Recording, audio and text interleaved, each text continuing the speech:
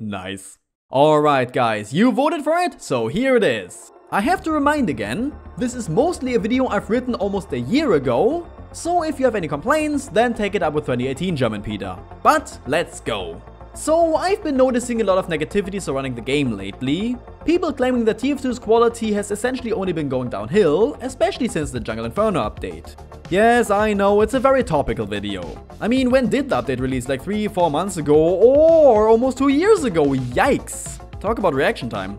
Basically, a whole lot of players are essentially saying that TF2 is now, after 11 years, finally getting worse, whereas before it was always PG keen. But I'm not talking about them pointing out obvious problems that have actually appeared, but more so about them focusing on only the negatives and completely dismissing the positives, and more importantly, the negative problems that have always been there, some of which have also been fixed. Now, I'm definitely not excusing Valve for their actions. Everything I said in my It's All Valve's fault video still rings true to this day. I support the TF team and not Valve as a company, and even then I'm highly critical. I'm also not saying that these issues are relevant, nor that you shouldn't be concerned about them.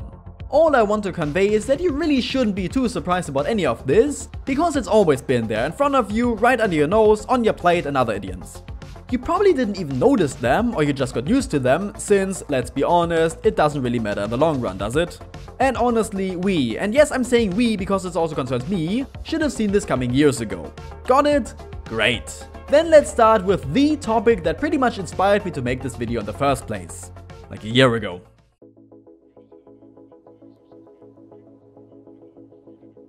Ah, yes, Jungle Inferno. More like Jungle in Fartno, am I right? Man, wasn't that a bad update even after all this wait?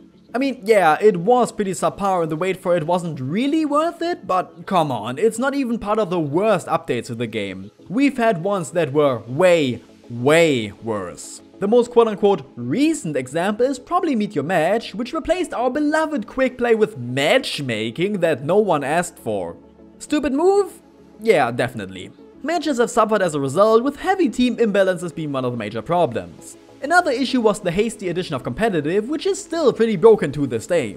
They sort of attempted to fix it with the Blue Moon pack, but many problems still persist, the state of comp as an example. Couldn't we have just stuck with quick play? I mean, that was a perfect system, wasn't it? Well, remember how up until quick play, the community itself was responsible for the hosting of servers? Whether that was overall a good or bad thing is debatable. But it did ruin many communities since after the implementation of Valve servers, pretty much 90% of all community servers ended up in the dirt. And you can imagine how well that went over for the players. So don't be surprised by Valve quote unquote suddenly changing the way the game is being played. I mean, overall not much has changed, besides the way you get into games now.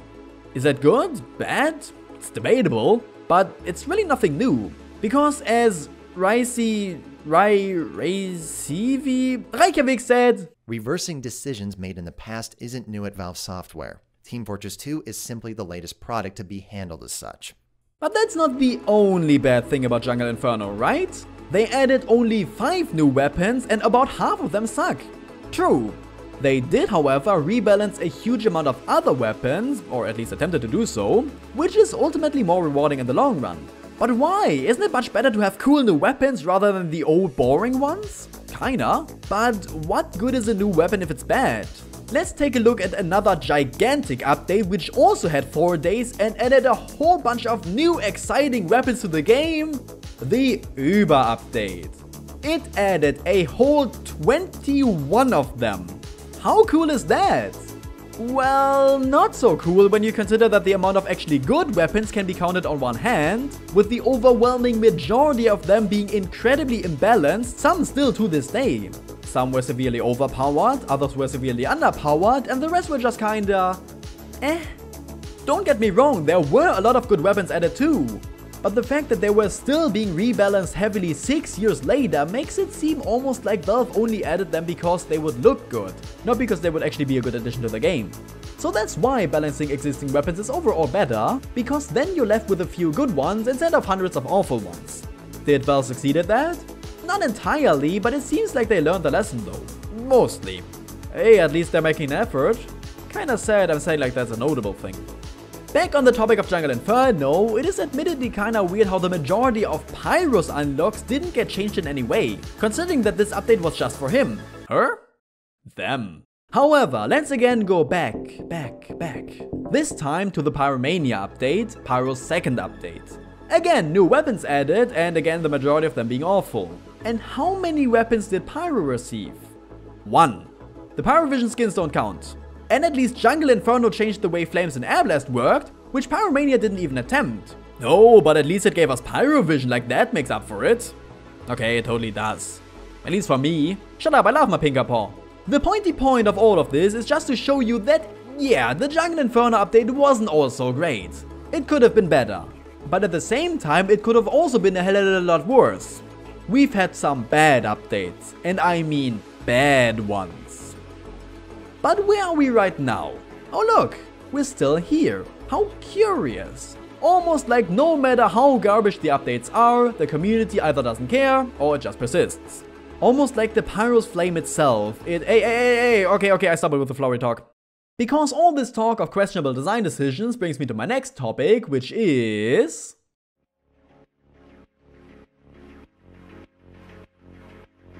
As I pointed out earlier, Valve nowadays focuses on balancing weapons in their updates rather than adding new stuff. This results in certain designs however that a lot of people don't seem to agree with. For example, removing the Sandman and Flying Guillotine combo or incredibly nerfing the Ambassador. And yet, not even that is a recent trend, since Valve has been doing this with, well, pretty much every update. I'm not even going to list any examples, because weapons have changed so much with every patch that there's only a handful of them that remain untouched. The Persian Persuader, for example, has been changed so much in fact, that it almost doesn't even resemble the original a single bit anymore. And that's not necessarily a bad thing. Finding the sweet spot for balancing is tricky, especially because game design is not an exact science. You can put a lot of thought into it, but ultimately you're just throwing ideas at the wall to see what sticks. And sometimes your tweaks have to be outlandish, just to see how far you can really go with your ideas. For example, did you know that the Sandman originally launched the baseball on primary fire, which stunned even übercharged players, with the only downside being half damaged against unstunned players and removing double jump? And this took them like 6 months to change. Or did you know that the Blutsauger only had the downside of not being able to get random crits? Like, that's it, it was a straight upgrade the majority of the time. And they also did this with a ton of other weapons like the Power Jack or the Islander. Valve really loved the idea of random crits and genuinely thought they impacted the game in such a major way that removing them on certain weapons was actually a reasonable way to balance them. I don't think that Valve will ever give up random crits because they seem way too proud of them. Hey actually, let's stay on that topic. You hate random crits because they're so annoying to play against? Well, have I great news for you! Because as I found out with my own super galactic brain powers, random crits used to be even more common before 2009. Yeah! Your base chance to get random crits used to be more than twice as much as it is now, and the max chance was almost twice as much. So if you hate them now, then remember that you could have hated them twice as much. But that wasn't even the only awful design decision they added. Remember random damage spreads? Oh, what's that? You just hit a soldier for 100 damage with a direct hit of your rocket and now you landed another direct hit? And you think you can actually kill him with that shot? Nah, because it just decided to do 99 damage instead of 100. And this took them years to remove even though the community hated it pretty much since the beginning, from what I've heard at least. So the next time you complain about a bad mechanic, just remember, it could and used to be even worse. And over time, they'll probably patch it out. But what they can patch out is...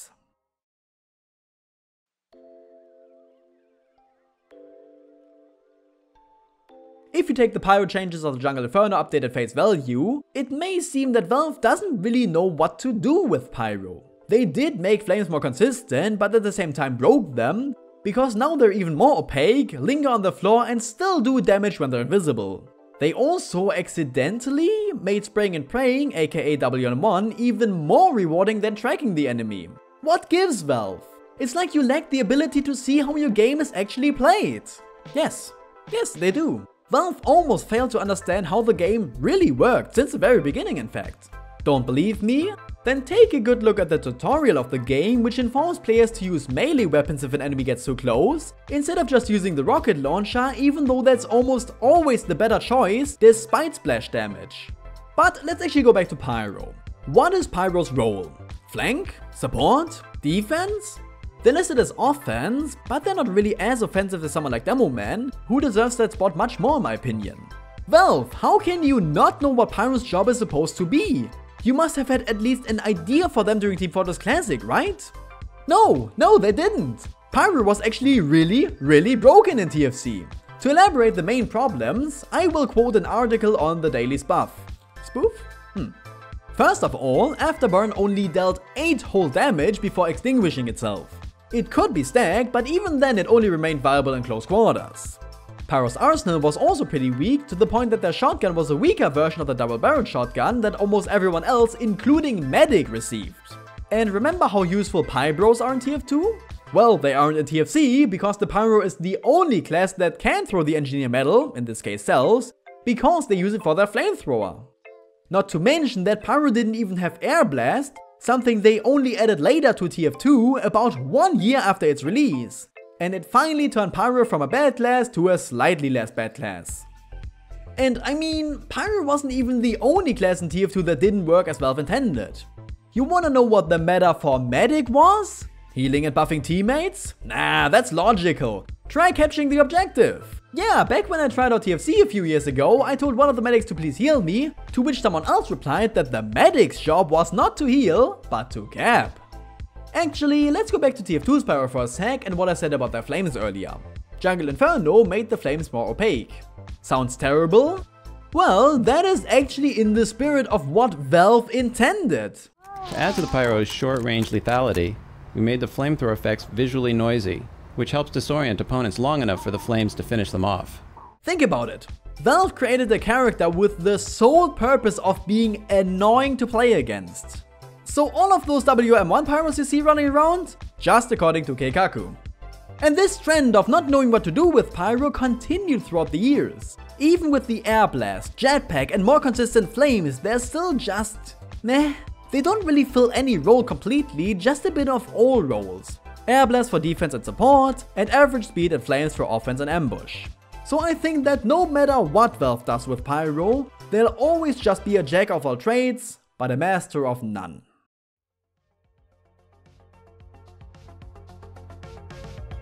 I got into Payday 2 fairly late, only a couple years back. I always thought it was a pretty alright game, and aside from desync and some crashes, I never really had many problems with it. That was until I watched Payday YouTubers like Connor Shaw, who talked about the game in great detail and how truly broken and stitched together it really was. Much like I do with TF2. And it made me realize that a game can seem perfectly fine on the outside, but be bad on the inside without you being able to really notice that. But that doesn't make the game inherently bad. Ultimately, most of TF2's problems don't really matter.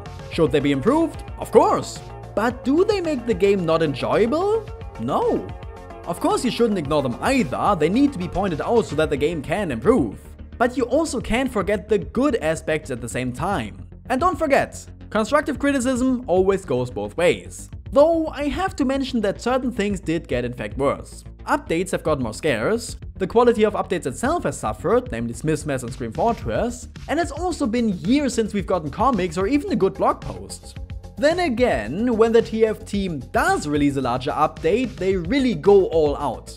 Jungle Inferno was filled to the brim with new content, new mechanics, rebalances and even a really high quality SFM.